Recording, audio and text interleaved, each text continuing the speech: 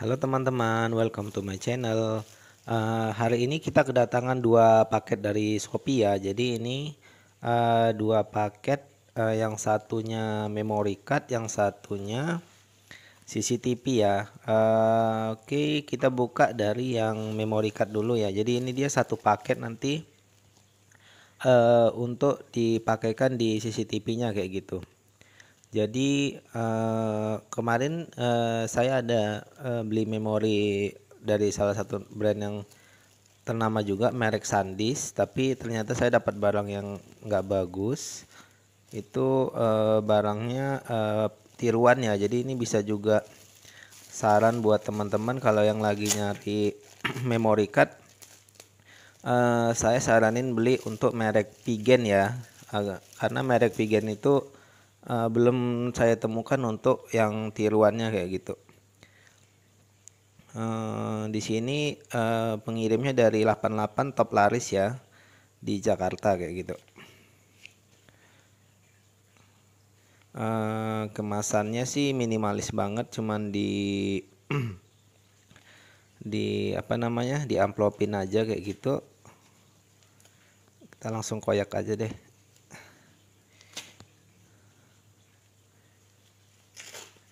Uh, oke okay, dia ternyata seperti ini ya. Dalamnya dikasihnya bubble wrap. Uh, kita tarik aja ya.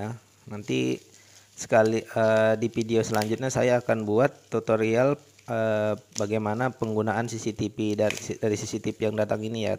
Ini hanya video unboxing aja dan uh, spesifikasinya kayak gitu ini dia uh, saya pesannya yang turbo series. Di sini ada tulisan limited lifetime warranty. Jadi ini garansinya seumur hidup. Kapasitasnya 32 GB uh, di sini dia saya pesan yang kelas 10 jadi yang uh, penggunaan saat kita pakai di HP mentransfer data itu lebih cepat kayak gitu ya. Oke dia kemasannya juga cuman seperti ini aja ya Oke, kita lanjut ke yang satu lagi.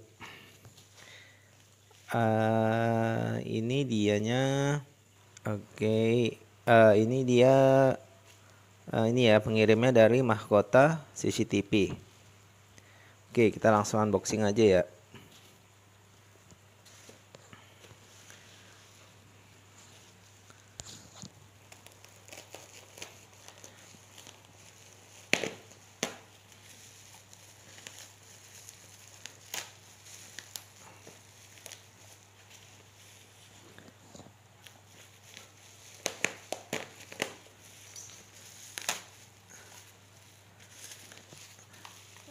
Oke, kita tarik aja. Pengemasannya cukup cukup uh, aman ya, rapi ya. Dikemas cukup tebal dengan uh, bubble wrap seperti ini. Oke, ini uh, CCTV-nya ya. Jadi ini tipe mana ya? Di sini smart camera, isi to accept real time remote viewing. Tipenya sebentar kita cari ya mana tipenya. Nah, di sini tipenya model IVC P380i27 WiFi IP kamera. Oke, kita langsung buka aja. Oh, di sini ada juga tambahan dari uh, apa ya, Peter-Peter dari produk CCTV ini kayak gitu. Jadi dia sudah bisa WiFi, bisa uh, tethering dengan HP kita, jadi bisa kita pantau lewat HP. Ada micro SD untuk penyimpanan, ini apa ya? Ini saya kurang tahu jadi uh, kurang tahu ya. Ini dianya ada lampunya kualitasnya HD uh, eh, terus dianya punya oh ini udah ada standar IP66 jadi tahan air ya tahan percikan air aja jadi bisa dipasang untuk outdoor. Dan dia sudah ada sensor geraknya. Oke. Okay. kita buka aja kemasannya sih enggak enggak enggak terlalu apa ya nggak terlalu wah juga karena ini juga harganya juga biasa aja sih. Ini saya pesan yang model bohlam kayak gitu ya. Oke pertama kita lihat dulu isi dari kotaknya. Di sini ada buku petunjuk produk manual Intelligent Technology Security P380 Pro. Oke, di sini kurang lebih uh, tutorial cara penggunaan dari CCTV ini ya. Termasuk mungkin ini kartu garansinya juga kayaknya ya. Oke. Kita keluarin dulu apalagi isinya ya. Ya, CCTV-nya seperti ini. Uh, Oke, kita dapat uh, kepala untuk CCTV-nya. Uh, eh, ada dua baut. Jadi isi uh, kotaknya ada itu aja ya, sudah habis ya. Jadi isi kotaknya sudah nggak ada lagi, cuman itu aja. Kita rapikan dulu. Kita buat di situ aja. Ini buku petunjuknya. Oke, jadi yang kita dapat uh, ini aja ya. Uh, unit CCTV-nya. Terus uh, kepala lampunya. Sama apa. Jadi kalau untuk penggunaannya nanti sekalian saya buat di video tutorialnya ya. Jadi di sini saya mau jelaskan juga uh, ngura, uh, apa ya? Uh, mengu mengulangi uh, kira-kira spesifikasinya apa aja ya? Soalnya tadi saya kurang uh, memper apa namanya? Uh, kurang tahu. Jadi uh, ini dianya seperti ini. Untuk bentuk desainnya di sini ada lampunya. Ini ada modul kameranya. Di sini ada sensor apa ya sensor gerak ya mungkin kayak gitu ya kemudian kita lihat lagi di belakang ini ada untuk suaranya seperti ini. Kemudian di bawahnya ada tempat slot uh, tempat slot apa ya nih Oh ini tempat slot untuk memory card ya.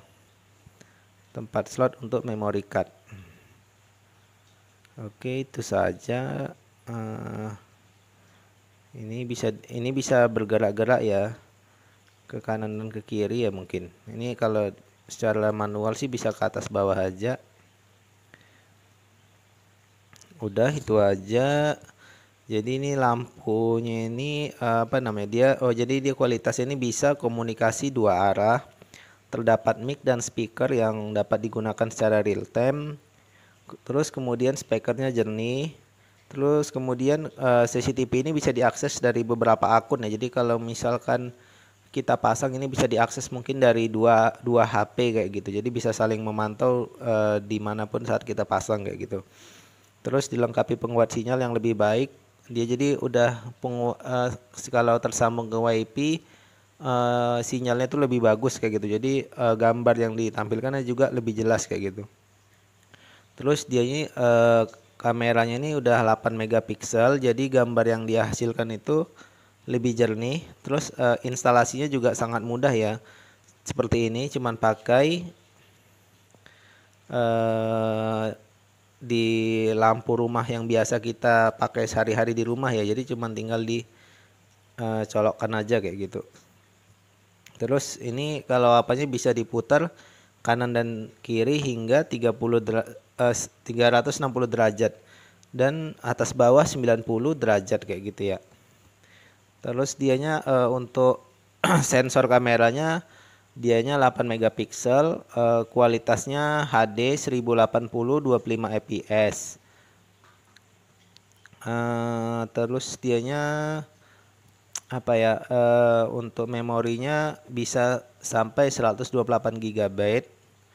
Uh, jadi dia bisa live empat kamera sekaligus di satu layar HP jadi kalau misalkan kita punya empat kamera ini uh, jadi dia bisa langsung kita tampilkan di satu layar HP kayak gitu.